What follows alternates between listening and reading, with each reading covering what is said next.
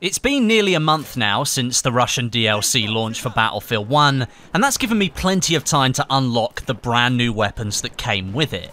I've got about 90% of them unlocked, there are a couple of variants that are still evading me, and I've unlocked at least one of the two variants for weapons that have more than one variant. And I've unlocked the two new secondary options as well, so I wanted to answer the question, was the grind worth it? There's still a free trial going on right now for Battlefield 1 in the name of the Tsar, so any player of Battlefield 1 can get into these DLC servers, and they can unlock the DLC weapons as well. So, in the last few days, is it worth unlocking some of the variants that you haven't got your hands on yet? Well, let's find out. First of all, we'll take a look at the Assault class. We have the 1900 double barrel shotgun and the SMG 08 here. Now I'll start with the shotgun because it offers something completely different to really anything else that we've had so far in this game. You get two shells of pain and they can be combined together by switching the fire mode and that will almost guarantee a kill in close quarters. The factory is your standard shotgun firing pellets and the slug switches those pellets for a proper bullet and it can deal much greater damage at range provided you've got good accuracy. Of the two, I prefer combining both barrels of the factory variant and taking advantage of that quick reload, and you can mop up most players in close quarters, but if you like a challenge, you should try out the slug variant. My only stipulation with the slug variant is that the Model 10A shotgun offers you perhaps greater killing potential as it's a pump action shotgun and it has more rounds available before you have to reload. And not to mention, you get a nice optical sight on the Model 10A slug for better target acquisition. The double barrel doesn't have that option, and I would have liked it if it had, but then it wouldn't really feel like a proper double barrel shotgun. It's really basic, but it's really fun to use. Both variants are worth the grind, but I prefer the factory. The SMG-08 is an interesting weapon not only in its looks, but in its statistics as well. Both the factory and the optical variant, they offer a large 80 round magazine to fire from, but its rate of fire is just 450 rounds a minute. And that means those bullets are firing a little bit too leisurely to make the weapon lethal in close quarters. It's more of a mid-range SMG, where the bullets are plenty enough to bring down players, and it lives up to its image of being a mini light machine gun. It's become a proper mid-range weapon for the assault class. However, I'd say it's trumped by the MP18, which is its direct competitor. The MP18 has a faster rate of fire, and it has a variant that makes its hipfire spread nice and tight, and in close quarters, that's really important. The factory variant of the SMG-08, it does recover faster from bullet spread and recoil, but overall it suffers from a wide spread.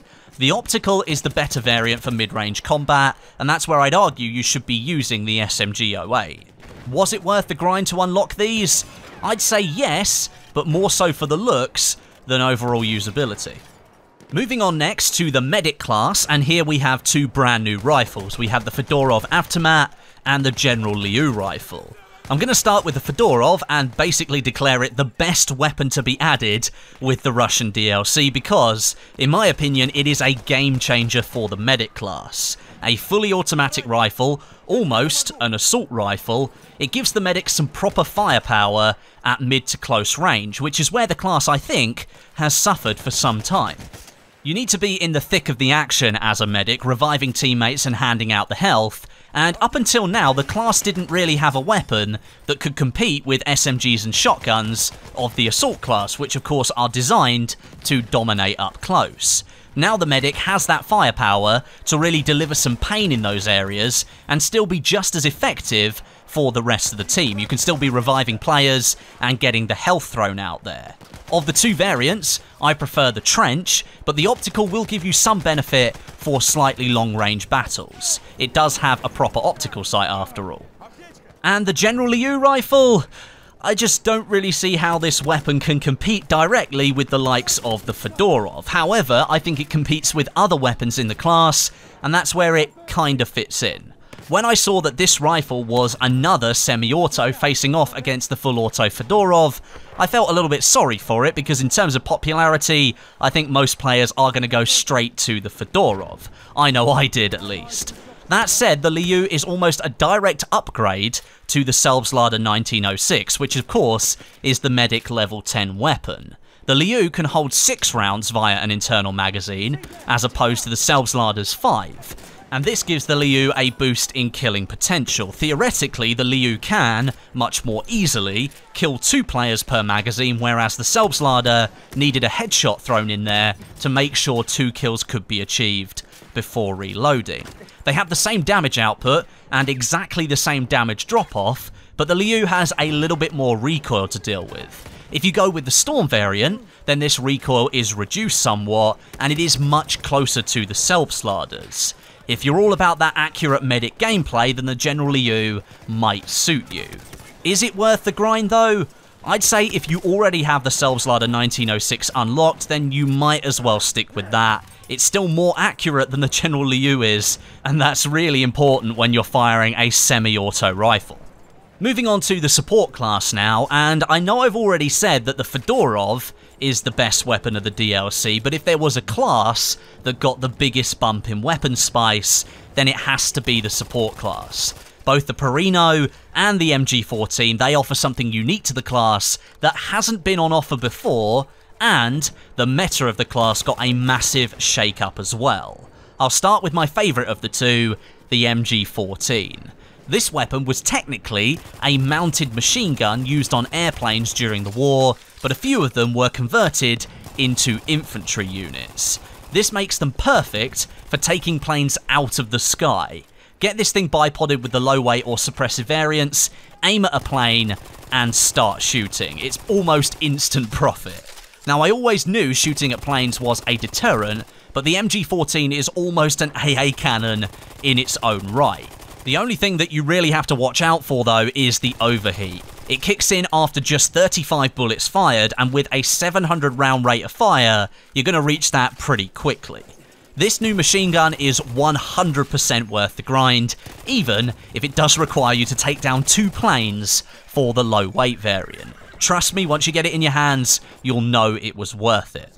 The Perino is just as awesome, I'd say, but takes second place, but it is a totally different kettle of fish, but equally worth the unlock grind. Both the low weight and suppressive variants comes with a huge hopper-like 120 round magazine, which can be topped off with strips of 20 rounds. It also has the longest overheat threshold of any LMG in Battlefield 1, cutting off at 65 bullets.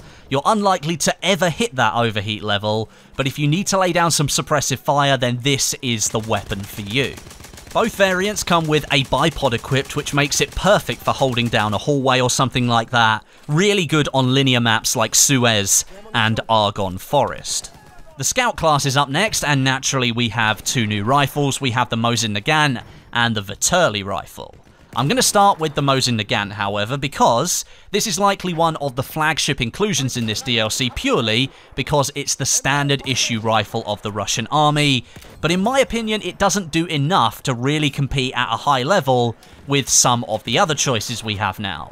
5 round internal magazine, fairly good hipfire accuracy and a fast bullet velocity don't quite make up for the slow rechamber and reload speeds which can put you at a massive disadvantage at mid-range, and the sweet spot range doesn't quite feel as effective as what the King, the SMLE, can offer. Of the two variants though, I'd say the marksman is the one you want to use, whereas the infantry really suffers with the lack of a high-powered scope. The Vetterli rifle is somewhat of an oddity in this DLC and probably the weapon I look forward to the least. Interestingly, however, it gives the Kingpin SMLE a good run for its money at close range. Its sweet spot range is 20 to 60 meters or so, and that sits with the Martini Henry being a really good choice at close range, but it has a nice 4 round internal magazine. The carbine variant also comes with an optical sight which is helpful for hitting some of those shots closer to the 60 meter point and beyond. Inside 20 meters also, the rifle will do a minimum of 90 damage, which is perfect for following up with a secondary pistol. Overall, it's a good rifle for mid to close range, but it really does lack strength at long range. I'd say this one is definitely worth the grind for sure. And lastly, we have the two pistols. These are by far the easiest two to unlock, we have the Nagant Revolver and the Obrez. The Obrez is an awesome pocket rifle which deals massive damage up close, and the Nagant Revolver offers good hipfire capabilities. Both are worth the grind and are far easier than the rest of the weapons, so I'd say just go and unlock them anyway. Overall, this DLC has been awesome for the weapon choices and it trumps the French DLC by an absolute country mile. Most of the new weapons are worth the grind, but one thing is for sure, they all seem to offer some unique benefits that so far haven't been present in Battlefield 1. Let me know your thoughts down below, maybe tell me which of the weapons is your brand new favourite, and I'll try and read as many comments as I can. But until next time, my name is Westie, and I'll catch you guys in the next video.